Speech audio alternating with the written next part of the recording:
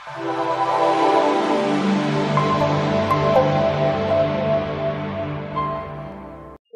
in this lecture we will learn about generative adversarial networks. Okay, so GANs are basically generative model. They create new data instances that resembles your training data. हम किसी training data पे कैंस पर paint करते हैं और जो हमारे पास जनरेटेड इमेजेस आते हैं they look like they belong to real data GAN can create images that look like photographs of human faces even though the don't belong to any real person these are some sample images ये Nvidia ने एक gain create किया था, उस gain के resultant images हैं और हम इस इमेजेस में देख सकते हैं कि ये इमेजेस बहुत रियलिस्टिक uh, इमेजेस हैं जो कि कहीं से भी हम आइडेंटिफाई uh, नहीं कर सकते एज अ ह्यूमन कि they do not they do not belong to any real person So this is the power of uh, generative adversarial networks.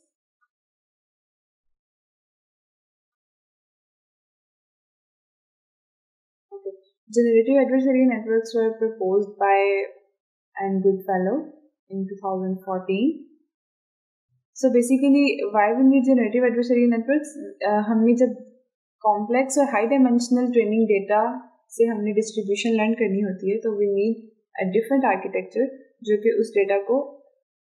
अच्छे से कॉम्प्रिहेंड कर सके या अच्छे से उसके पैटर्न्स को आइडेंटिफाई कर सके generative adversary networks basically transform करते हैं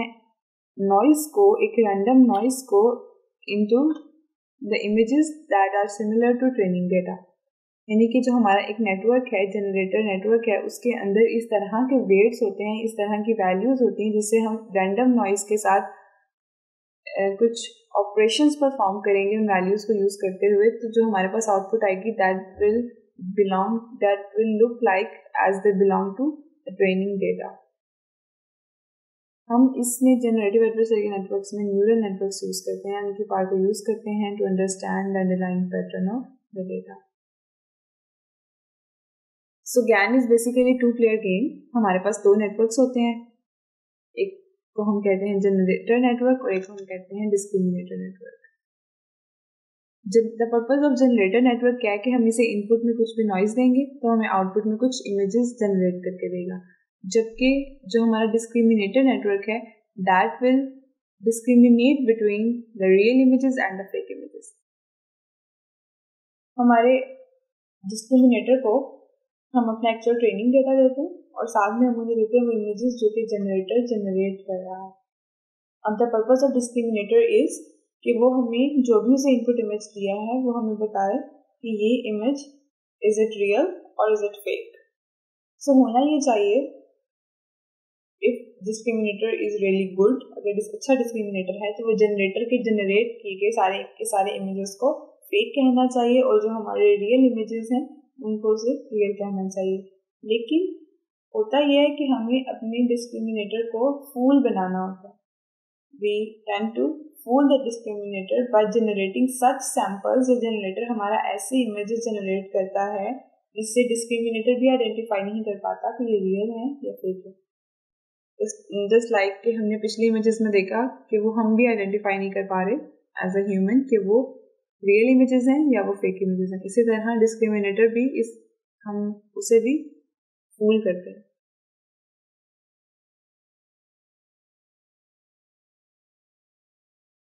हमारे जनरेटिव एडवर्सरी नेटवर्क की सक्सेस किससे मैयर होती है? We measure the success by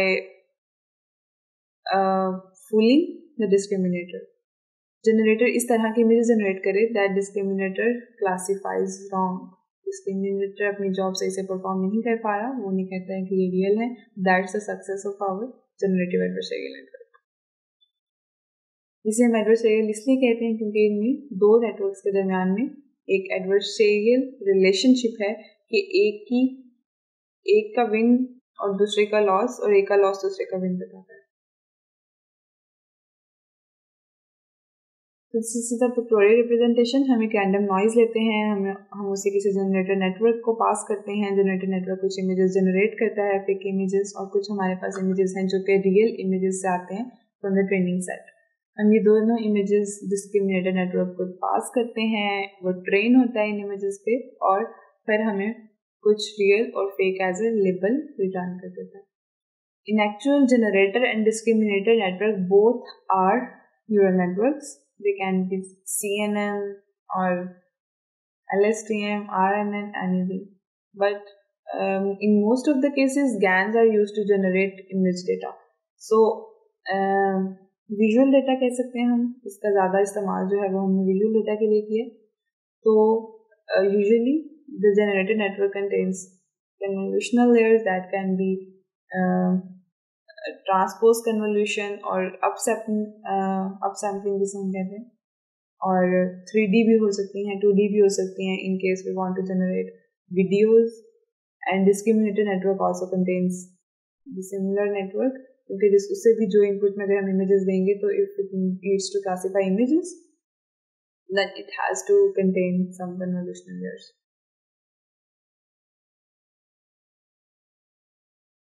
So there comes the big game that is min-max game. How we train generative adversarial networks. हमें पता चल गया कि जो जो generated network है it will generate images and the discriminated network will distinguish between the real and the fake images. So how we obtain that objective कि हम डिस्क्रिमिनेटर को फुल बना सकते हैं तो there is this objective function इसमें हमारे पास जो फ़र्स्ट टर्म है, ये बता रही है डिस्क्रिमिनेटर की आउटपुट को on real data X is our real data हम real data X from actual data जो प्रोबेबिलिटी डिस्ट्रीब्यूशन है, उससे हमने कुछ इनपुट रियल डेटा लिया है। हमारा डिस्क्रिमिनेटर उस डेटा को जब हम एज एन इनपुट करते हैं तो वो क्या आउटपुट देता है? And on and other term जो हमारी इसमें है, वो है कि जब हम डिस्क्रिमिनेटर को वो इनपुट देते हैं, जो कि हमारे जनरेटर ने जनरेट किए।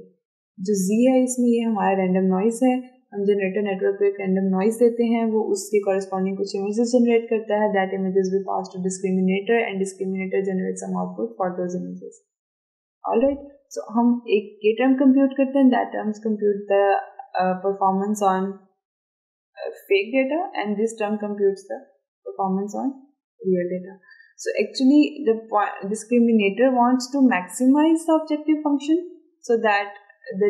uh, d of x is close to 1 for real and d of g of z is close to 0. Discriminator क्या चाहता है कि ये वाली जो टर्म है हमारे पास जहाँ पे उसने फेक के लिए जो हमारी आउटपुट है वो ज़ीरो आनी चाहिए। Basically discriminator outputs between zero and one तो जितना अगर आउटपुट वन के करीब है तो इसका मतलब है कि वो रियल है अगर आउटपुट ज़ीरो के करीब है तो इसका मतलब है कि वो फेक है। सो so, अगर एक डिस्क्रिमिनेटर का पर्पज़ क्या है, वो चाहता है कि वो इसको मैक्सिमाइज करे, इस पूरे ऑब्जेक्टिव फ़ंक्शन को। यानी कि हमारी आउटपुट जो है for generated samples that should be near to zero and the output for real samples that should be near to one so if this is one and this is zero we compute the sum take log and compute the sum तो it will obviously be the maximum value that we can have so discriminated tries to do that on the other hand generator क्या चाहता है generator चाहता है कि वो इसको minimise करे। उस, इसकी मिनिमम वैल्यू कोई ऐसी हमारे पास सेट ऑफ़ पैरामीटर्स हों जो आ,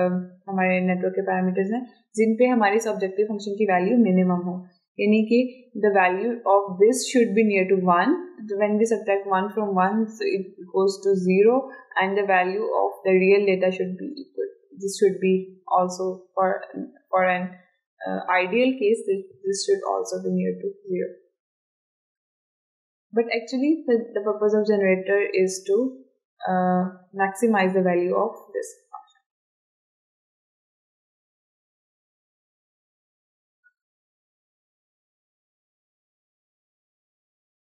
सो so, हम इधर कंप्यूट करते हैं जैसे तमाम न्यूरल नेटवर्क्स की तरह ग्रेडियंट डिसेंट हम यूजुअली अपने न्यूरल नेटवर्क्स में कंप्यूट करते हैं in order to find a global minima of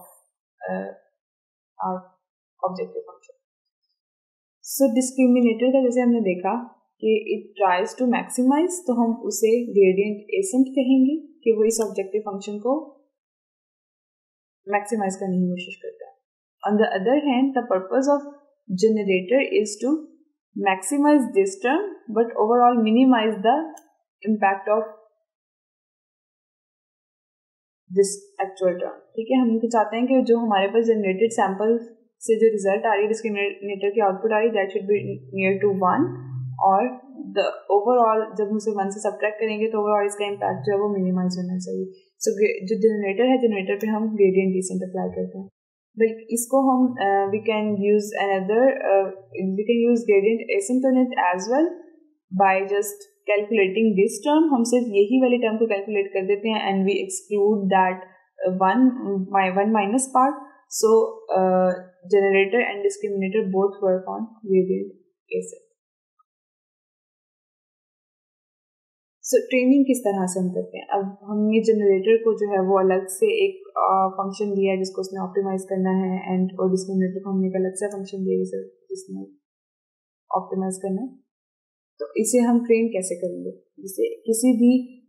traditional neural network को हम ट्रेन करते हैं we pass some inputs and the corresponding labels और एक ऑब्जेक्टिव फ़ंक्शन होता है स्टोकेस्टिक ग्रेडियंट डिसेंट है, हम वो यूज़ करते हैं और we need to optimize that और इसी, इसमें भी इसी तरह से ही हम करते हैं। डिस्क्रिमिनेटर को अपडेट वेव्स को अपडेट करना है हमने तो क्या चीज़ यूज़ करके अपडेट करना है? डिस्क्रिमिनेटर के भी और जनरेटर के भी। So we have these steps here जितनी नंबर ऑफ़ आइट्रेशन हमने करनी है for number of steps we need to do ठीक है, एक हमने मिनी बैच जनरेट किया है, जिसमें कुछ हमने सैंपल नॉइजेस जनरेट किए हैं from a prior noise distribution ठीक है, ये बिल्कुल रैंडम नॉइज़ हैं ये गॉजियन नॉइज़ भी हो सकता है, ये किसी भी किस्म के नॉइज़ हो सकते हैं जो हम इनिशियली जनरेट करें और इसके अलावा अब हमारे पास कुछ सैम्पल्स हैं from the real data distribution so अब पहले हम क्या करेंगे? हम अपने डिस्क्रिमिनेटर को ट्रेन करेंगे on noise data and on actual generated samples from noise data and from actual examples so हम इसको grade stochastic ascending stochastic gradient के ऊपर हम इस अपडेट को अपने डिस्क्रिमिनेटर के वेट्स को अपडेट करते जाएँगे। ये वही फ़ंक्शन है जो हमने प्रीवियस स्लाइड्स में देखा ठीक है? So once it it completes all two steps ये स्टेप्स हमारे एक भी हो सकते हैं कि हम चाहते हैं कि हम एक दफ़ा डिस्क्रिमिनेटर को ट्रेन करें एक दफ़ा जनरेटर को ट्रेन करें and we can vary two steps as well कि हम डिस्क्रिमिनेटर को ज़्यादा ट्रेन करना चाह रहे हैं और जनरेटर uh, को हम ट्रेन करना चाह रहे हैं। सो इनिशियली क्या होगा कि हमारे जनरेटर के पास कुछ रैंडम वेट्स होंगे। उन रैंडम वेट्स की बेसिस पे वो कुछ ना कुछ सैम्पल्स तो जनरेट करेगा ही करेगा। तो पहली आइट्रेशन में हमारे पास जो जनरेटेड सैम्पल्स होंगे वो बहुत बुरे होंगे। और मे बी द जनरेटर जो डिस्क्रिमिनेटर है वो हमें जो है ना, उस पर अच्छे रिज़ल्ट से दे। और बट एज एज फॉर हम उसको ट्रेन करते जाएँगे अपने जनरेटर को तो it will start producing good examples noise से वो डेटा से डिस्ट्रीब्यूशन लर्न करके वो ओवर द आइट्रेशन अच्छे अच्छे सैम्पल्स प्रोड्यूस करना शुरू कर देगा। So we generate we train the generator as well एक लूप में हमने डिस्क्रिमिनेट एक दफ़ा हमने डिस्क्रिमिनेटर को ट्रेन किया then we train generator generator में हमने we use the same function that we want to maximize कि हम कुछ भी रैंडम नॉइज़ दें, उस पर जनरेटर जो आउटपुट जनरेट करे, वो डिस्क्रिमिनेटर जो है वो उसको नियर टू वन जो है ना, उसकी लेबल उसका प्रोड्यूस करे। ठीक है? So this is how we train GAN so once we have train GAN तो अब हम क्या चाहते हैं कि हमने अपना ऑब्जेक्टिव फ़ंक्शन को उसको कन्वर्ट कर लिया है अपने मॉडल को। अब ऐसा है कि हम जो भी सैंपल जनरेट कर रहे हैं, वो जनरेट जो डिस्क्रिमिनेटर है वो that classifies as real so अब हमने, हमारे पास नेटवर्क तैयार हो गया है ऑप्टिमल नेटवर्क है दैट हैज़ कन्वर्स्ड तो अब we want to use that model to generate samples like testing जिस तरह से हम करते हैं या हम उसे कहीं डिप्लॉय करना चाह रहे हैं. तो हम क्या कहते हैं, उसका सिर्फ़ जनरेटर नेटवर्क यूज़ करते हैं, ठीक है? हम उसे कुछ रैंडम नॉइज़ देंगे इनपुट में, वो कुछ ना कुछ हमें इमेजेस जनरेट करके देगी so that's a deployment and testing phase of the generator network अच्छा ये कुछ इसके जनरेटेड सैम्पल्स हैं जो कि हमने uh, कुछ डेटा सेट्स पे एमनिस्ट पे सिफॉर पे इमेजनेट पे इनको ट्रेन किया था जनरेटर्स को। तो वो हमारे पास कुछ जनरेटेड सैम्पल्स आए हैं वो इस तरह दैट वी कैन सी के it produce really somehow good results okay. So what are uh, the generated and discriminator networks contain? जैसा कि हमने पहले भी देखा था अगर हमें इमेजेस जनरेट करने हैं तो there should be convolutional layers लेकिन कैसी कन्वोल्यूशनल लेयर्स होंगी? हम एक रैंडम नॉइज़ से जो कि जिसकी डायमेंशन कुछ भी हो सकती है हम उसे जनरेट करा रहे हैं एक पूरा image that let let's say that image is 128 by 128 by 3 an R G B image हम एक रैंडम नॉइज़ से जनरेट करवा रहे हैं। तो हमारी जो कन्वोल्यूशनल लेयर्स हैं that should be transpose convolutional layers जिसमें यूजुअली हम यूज़ करते हैं फ्रैक्शनली स्टाइडेड और सो हम क्या चाह रहे होते हैं कि अब सैंपल करते जाएँ अपने डाटा को अनलेस हमारा जो डिजायर्ड आउटपुट साइज़ है, वो हमें मिल जाए। और discriminator is a simple convolution these are some architectural guidelines जो कि हम डिज़ाइन करने से पहले अपने किसी भी गैन के नेटवर्क को we should consider so first of those is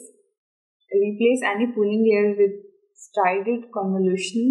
discriminator and fractional strided convolution in generator network हमें इसमें पुलिंग लेयर की ज़रूरत नहीं है because we do not want to pick some some uh, important features. हमें सब पूरे data की distribution learn करनी है. There is no purpose of uh, reducing dimensions, reducing uh, information from the data.